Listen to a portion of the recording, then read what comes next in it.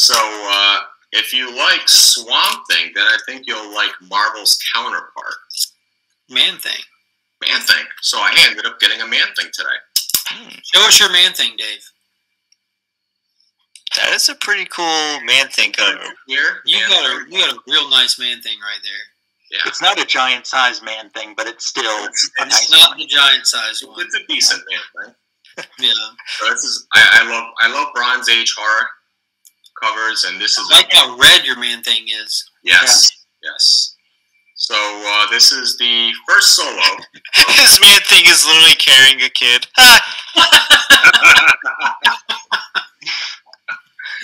oh man. Look at all those people shooting their load at your man thing. Yeah. Insert the jokes. There we go. You, well, you've inserted your man thing, so That's right. One with the other. All Hey, right. he's got his man thing, you know, in a bag, so it's all protected. Yeah. So That's I get good. it All back right. from the thing. All right. Moving on. Moving on.